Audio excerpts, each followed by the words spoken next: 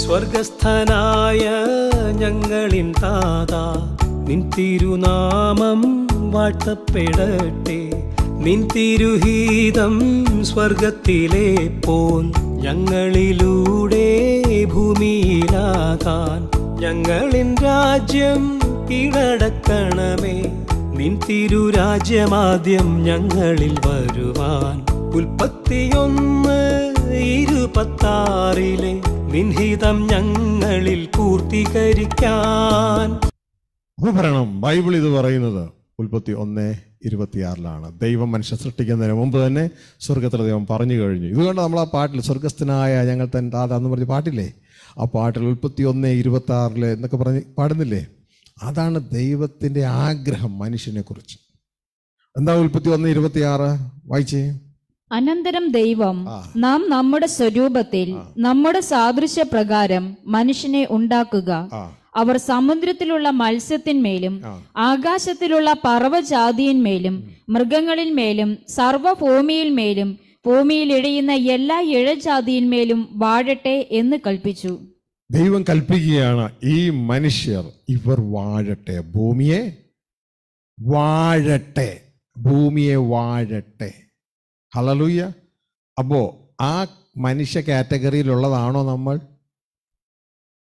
ആണെങ്കിൽ നമ്മളെ സൃഷ്ടിച്ചതിന്റെ ഉദ്ദേശം ഈ ഭൂമിയെ വാഴാനാണെന്ന്. എങ്ങനെ അറിഞ്ഞു? എങ്ങനെ അറിഞ്ഞു എന്ന് ഒരാളൊന്ന് ചോദിക്കുകയാണ്. വിശുദ്ധ ബൈബിൾ പറയുന്നു ദൈവവചനം പറയുന്നു. അങ്ങനെ വേണം പറയാൻ. ദൈവവചനം പറയുന്നു. ഇനി അതിനെക്കുറിച്ച് ഇതാ രണ്ടോ മൂന്നോ പേരുടെ സാക്ഷ്യം വഴി എതിരെ ഉറപ്പിക്കാം. എങ്ങനെ ഉറപ്പിക്കാൻ പറ്റും? ഇപ്പോൾ മനുഷ്യനെ മരണം വാഴുകയാണ് എങ്ങനെ ഉറപ്പിക്കാം? ഇതാ യേശു കർത്താവ് വന്നൊരു പ്രവചന ദൂത് പറഞ്ഞു. ഈ വാ ഉൽപ്പത്തി ഒന്ന് ഇരുപത്തി ആറിന്റെ അടിസ്ഥാനത്തിൽ ഭൂമിയുടെ ഭരണം കിങ്ഡം നിങ്ങൾക്ക് തരാൻ ആണ് ദൈവം നിങ്ങളെ സൃഷ്ടിച്ചത്. യേശു കർത്താവ് വന്നിട്ട് അത് തന്നെ നമ്മളോട് പറയുന്നത് ചെറിയ ആട്ടിൻകൂട്ടമേ ഭയപ്പെടേണ്ട. കിങ്ഡം നിങ്ങൾക്ക് തരാൻ നിങ്ങളുടെ പിതാവ് പ്രസാദിച്ചു. മനസ്സിലായോ? ഭരണം നിങ്ങളുടെ കയ്യിലേക്ക്? തരാൻ പോകുന്നേ. ലൂക്കോസ് പന്ത്രണ്ടിന്റെ മുപ്പത്തി രണ്ടിൽ വളരെ ക്രിസ്റ്റൽ ക്ലിയർ ആയിട്ട് യേശു ക്രിസ്തു പറയുകയാണ് ഇതാ ഈ ഭരണം നിങ്ങളുടെ കയ്യിലേക്ക് തരാൻ പോവാ. വായിക്കാം. ചെറിയ ആട്ടിൻകൂട്ടമേ ചെറിയ ആട്ടിൻകൂട്ടമേ ഭയപ്പെടരുത്. ഭയപ്പെടരുത്. നിങ്ങളുടെ പിതാവ് രാജ്യത്വം നിങ്ങൾക്ക് നൽകുവാൻ പ്രസാദിച്ചു രാജ്യത്വം നിങ്ങൾക്ക് തരുവാൻ പ്രസാദിച്ചിരിക്കുന്നു. ചെറിയ ആട്ടിൻകൂട്ടമേ ഭയപ്പെടേണ്ട. രാജ്യത്വം കിങ്ഡം നിങ്ങൾക്ക് തരാൻ നിങ്ങളുടെ അപ്പം പ്രസാദിച്ചിരിക്കുന്നു. ഉൽപ്പത്തി ഒന്ന് ഇരുപത്തി ആറിൽ നിങ്ങളെ ഉണ്ടാക്കിയത് അതിനു വേണ്ടിയാ.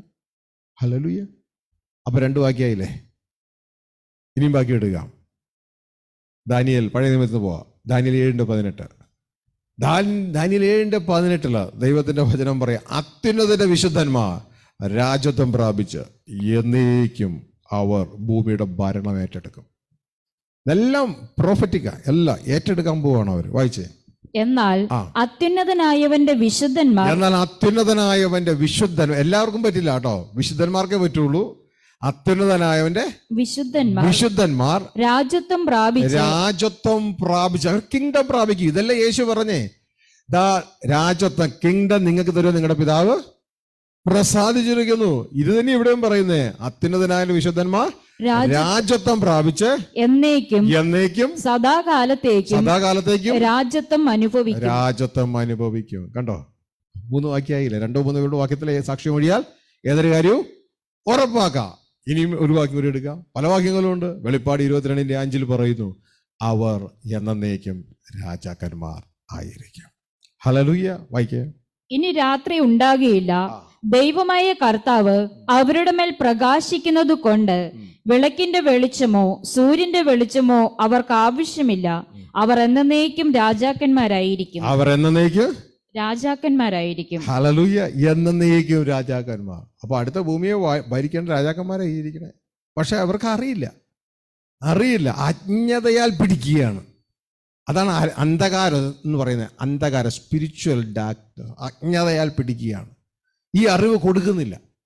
ഹലലൂയ ഒരു എം ബി ബി എസ് പഠിക്കാനായിട്ടൊരു കൊച്ചു ചെല്ലുമ്പോൾ തന്നെ അവനറിയാൻ താൻ ആരാകാൻ പോകുന്നു. ഡോക്ടറാകാൻ പോകുന്നു. ആ അറിവാണ് അവനെ കൊണ്ട് പഠിപ്പിക്കുകയും ആ കഷ്ടങ്ങളൊക്കെ അനുഭവിച്ച് രാത്രിയൊക്കെ ഉറക്കമുളച്ച് പഠിപ്പിക്കുകയൊക്കെ ചെയ്തത്. അവനൊരു പഠിക്കാനുള്ളൊരു പ്രേരണ കിട്ടുകയാണ്. ഇതേപോലെ നം ബൈബിൾ അവസാനിക്കുകയാണ് അവർ എന്നേക്കും. രാജാക്കന്മാർ ദൈവത്തിന്റെ മക്കളായ രാജാക്കന്മാർ. ഹലലൂയ ഞാനിപ്പോ ചർച്ചിൽ അത് നന്നായിട്ട് പഠിപ്പിക്കുന്നുണ്ട് ആ വിഷയങ്ങൾ ഭയങ്കരമായിട്ട് നമ്മുടെ ആത്മീക തല അതുകൊണ്ട് തുറന്നു. അസാധാരണമായ ഒരു കാഴ്ചയിലേക്ക് നമുക്ക് വരാൻ പറ്റും ഭയങ്കരമായിട്ട്. ജനത്തിന് ഭയങ്കര മാറ്റങ്ങളുണ്ട് അത് പറയുമ്പോൾ മറ്റേ പ്രസംഗങ്ങൾ എന്നൊക്കെ വെച്ച് കഴിഞ്ഞാൽ വെറുതെ പ്രസംഗിക്കാന്ന് മാത്രമേ ഇതാകുമ്പോൾ എല്ലാത്തിനും ഒരു അടുക്കും ചിട്ടയോടെ കൃത്യമായിട്ട് നമ്മൾ അവിടെ എത്തിച്ചേരുന്ന തരത്തിലുള്ള ഭയങ്കര അനുഗ്രഹം. എന്റെ ആത്മീയ ജീവിതത്തിൽ ഭയങ്കര മാറ്റങ്ങൾ എന്നിട്ട് ഉണ്ടായി. അതുകൊണ്ടാണ് ഞാൻ ആ പുസ്തകം ഇനി ഏത് എത്ര പുസ്തകം ഉണ്ടെങ്കിലും മേടിക്കാൻ തയ്യാറാണ് അതിനകത്ത്. ഞാൻ യൂട്യൂബിൽ ഞാൻ കാണുന്നുണ്ട്. ഞാൻ സബ്സ്ക്രൈബ് ചെയ്തിരുന്നു പറ്റി ഞാൻ കാണുന്നുണ്ട് ആ മെസ്സേജ് ഒക്കെ. അപ്പൊ അതൊക്കെ പഠിപ്പിക്കുന്നുണ്ട്. ഞാൻ എഴുതിയെടുത്ത് പഠിപ്പിക്കുന്നുണ്ട്. അപ്പൊ അത് കൊള്ളാം. അത് ഭയങ്കര അനുഗ്രഹ ഭാഷ